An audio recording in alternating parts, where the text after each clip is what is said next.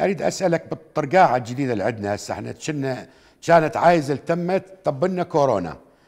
ما هي الحكمة من إنه السيد وزير الداخلية المحترم والحكومة العراقية تؤجل غلق الحدود إلى يوم 25 وبالتالي الخفت منه طحت به تحية طيبة لك أستاذ نجم ولضيفك عبر الأثير. يعني أولا هذا من سوء طالعنا. يعني العراق لغاية يوم أمس ما كان آه، آه، يعد من الدول التي دخلها هذا الوباء أوف.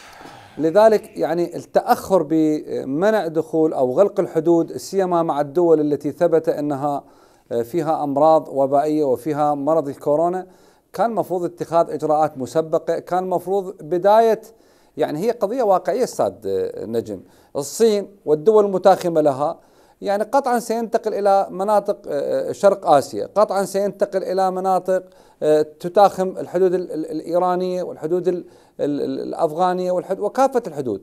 لذلك الإجراءات لم تكن مبكرة، الأجهزة والوزارات ذات الصلة المعنية بهذا الأمر تتحمل المسؤولية كاملا. مسؤولية كاملة تتحملها ازاء ما حدث وما يحدث عند حدوث هذا المرض. يعني اليوم المصيبة هسه إحنا خلينا نعتمد أسلوب الشفافية اليوم هذا طالب العلم الذي اكتشفت لديه حالة مؤكدة في النجف. آه، آه، يعني مع من جلس مع من صافح مدة الحضانة 14 يوم. هذه ال 14 يوم مع كيف أين مكث؟ ما من خالط؟ لا السؤال الاخطر السؤال يعني الأخطر سيدنا شلون عبر من الحدود وما حد تم فحصه بمعنى أنه لا توجد إجراءات رقابية وقائية صحية بالحدود ولذلك نفذ هذا الرجل. هو وكورونا مالته؟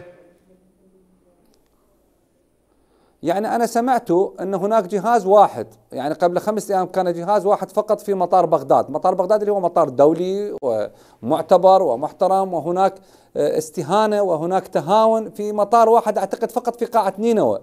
والضيوف الممتازين الضيوف الفي اي بي يمتنعون عن الفحص. وطبعا هذا أيضا مو ذنب الفاحصين لأن الفاحصين أيضا هم بالتالي هم موظفون عاديون لا حول لهم ولا قوة. يعني إذا دخل وكيل وزير لو مسؤول لو مدير لو رجل آه، مسؤول بالدولة إذا امتنع لا يملكون قدرة اجباره على أن يفحص. لذلك آه، آه، يعني مشكلة العراق إنه تتعدد فيه الزعامات وتتعدد فيه القوى. هذا يعقد الموضوع ويسهل الكورونا أن يدخل في أي مكان. خليني هذا السؤال. نجم يعني هو في نعم مطار نعم سيدنا كمل يعني أقول أقول يقول في مطار بغداد يتم التهاون فكيف في الحدود البرية؟ قطع الحدود البرية كما يعبر عنه باللغة الفارسية خري مري، يعني كيف ما اتفق؟